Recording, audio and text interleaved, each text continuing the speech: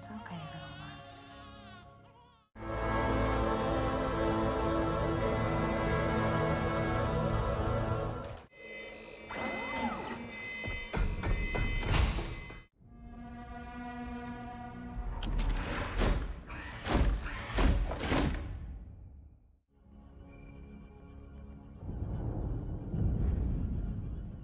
이곳은 인류가 멸종된 암울한 미래 속 인간 재건 프로젝트가 진행 중인 기지입니다. 막 세팅을 마친 로봇 드로이드가 여성의 배아를 꺼내어 기계에 삽입하죠. 그리고 잠시 후 놀랍게도 단 하루 만에 유전적으로 완벽한 아기가 성장합니다.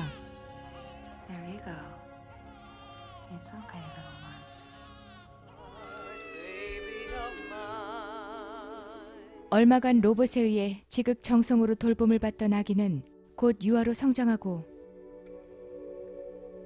Why aren't there any more children, Mother?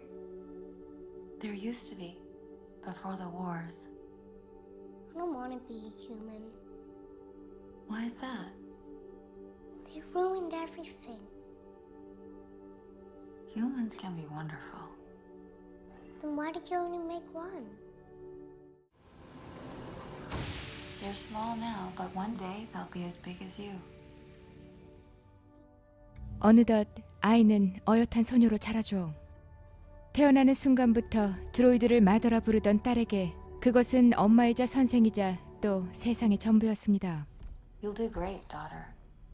You always do. 그러던 어느 날 Mother, wake up. Mother! 마더가 충전 중인 사이 홀로 기지 안을 둘러보던 딸이 쥐의 흔적을 발견합니다. 유일한 생명이라곤 오직 자신밖에 없다 믿었던 딸에게 쥐의 존재는 남다른 것이죠. Hey, little guy. Do you think it could be from outside? Highly unlikely, but a risk we can't take. 하지만 마더는 딸과 기지의 안전을 핑계로 가차없이 쥐를 소각해버립니다. Surface contamination levels remain hazardous to you, and to all the unborns who will one day call this their home. 사실 기지 밖의 상황은 숨도 쉬지 못할 만큼 위험한 상태죠. 그렇기에 외부의 공포를 학습받으며 자라왔지만 궁금증이 많아질 시기였던 딸은 속만 상합니다. Something's troubling you. Just not that hungry. 또 본능적인 고독함이 무엇인지 알지 못하는 마더가 조금 두렵기도 했죠. 늘 바깥 세상이 궁금했던 차에 이번엔 외부에서 들려오는 인기척을 감지하는 달.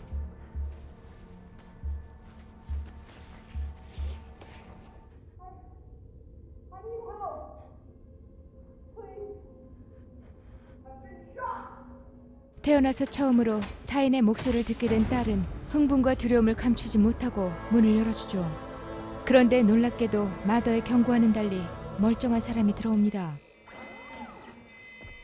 마침 충전 중에 깨어난 마더가 달려오자 시선을 돌려보는 딸. I only opened it for a second. Did you think that suit would keep you safe? I didn't go outside. 무사히 위기를 모면한 딸은 마더가 차를 피운 사이 다시 여자에게로 찾아가죠.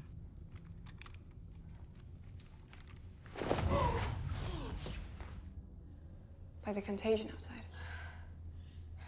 Who put that in your head? 같은 시각 기지를 점검 중인 마더. 총상을 입은 여자를 잠시 숨겨둔 딸이 부랴부랴 약품을 챙겨 돌아가는데 Where's my shooter? It was in my bag. I need it now. 드로이드에게 적대감을 가진 여자는 어쩐지 도움을 주려는 딸도 믿지 않습니다.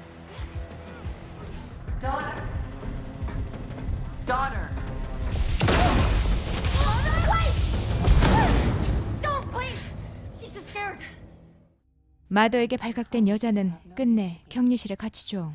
It would be best if you go now, daughter. But I, I. Trust me. 하지만 경계심이 가득했던 여자는 총성을 치료해 주려는 드로이드를 계속해서 거부하고. 둘의 대화가 몹시도 궁금했던 딸. know there were people out there.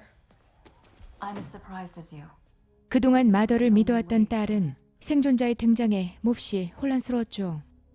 마더는 딸을 이해시키려 들지만 이후부터 그녀의 의심은 더욱 커져갑니다. 또 여자의 가방을 살펴보던 딸은 책 속에 그려진 많은 사람들이 실제 생존자인지도 알고 싶었죠. Stay away from me!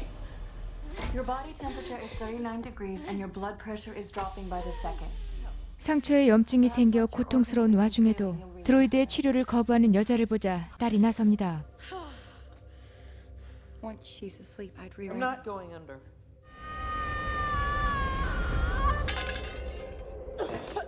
무사히 여자의 상처를 치료한 딸은 조금씩 자신에게 경계를 풀어가는 여자에게 드디어 그림에 대한 이야기를 듣게 되죠.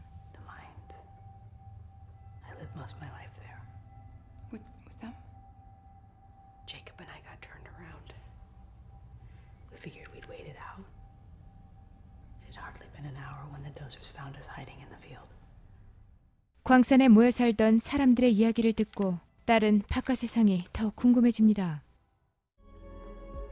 하지만 그런 딸의 변화를 눈치챈 마더의 경계 역시 만만치 않았죠. The bullet you extracted matches the caliber she fired into my chest. Droids don't use them.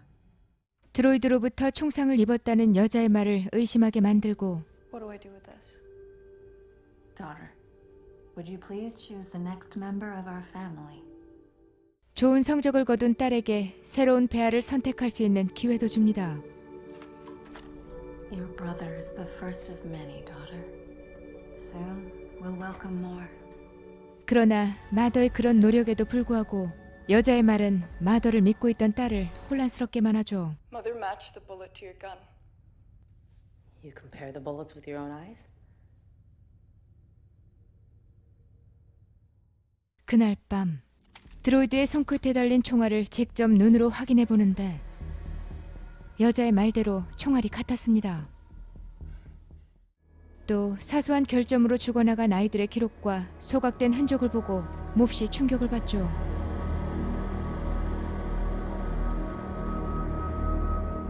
If we leave, how long would it take to get to the mines? Not even a day. Few hours, really. 결국 여자의 말을 믿기로 결심한 딸은 곧 태어날 동생을 본 뒤 기지를 떠나려고 합니다. Good morning, Mother. 하지만 진작부터 두 사람의 대화를 들어 알고 있던 마더가 딸을 가두고 여자를 찾아가 위협하죠. It seems she has formed an affection toward you that has blinded her to your true nature. Where are the mines? 같은 시각 질소를 이용해 닫혀진 문을 부수고 화재 경보기를 작동시키는 딸. 그 사이 격리실에서 빠져나온 여자가 또다시 딸을 인질 삼아 드로이드를 협박합니다.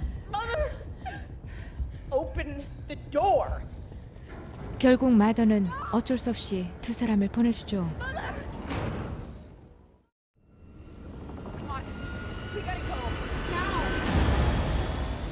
예상과는 전혀 달랐던 외부의 모습은 딸을 당황스럽게 만듭니다. What are those things doing? They showed up about six months ago. Along with the corn. 그렇게 한참이나 걷던 여자가 이윽고 어딘가에 도착하는데 그곳은 광산이 아닌 해변가의 한 낡은 컨테이너였죠. Where's everybody else? I fled the tunnels years ago. I haven't seen a person since. Not with flesh on their bones. 사실 다른 사람이 존재한다는 건 여자의 거짓말이었습니다. 드로이드로부터 자신을 떼어내려던 여자의 속임수를 알게 된 딸은 다시 목숨을 걸고 기지로 돌아가죠. 그런데 무장을 한 수많은 드로이드가 그녀를 포위합니다.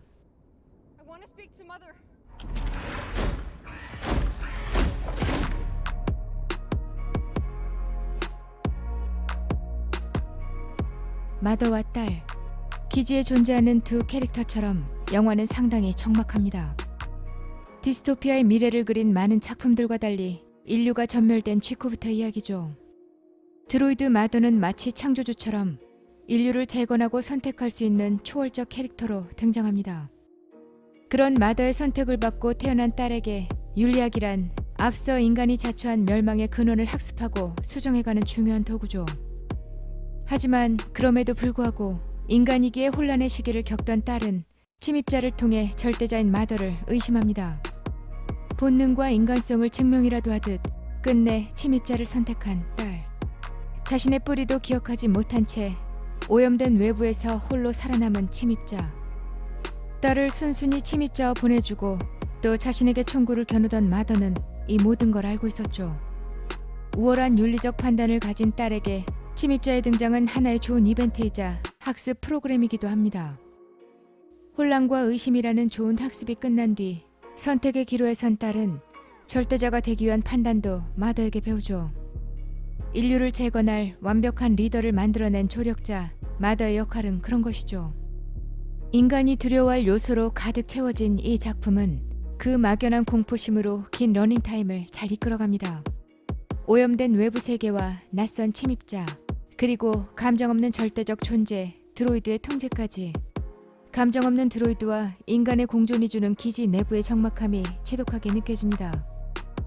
반대로 인간보다 더욱 인간다운 로봇의 등장은 대인관계에 지치고 상처받은 사람들에겐 꽤 흥미로운 주제죠.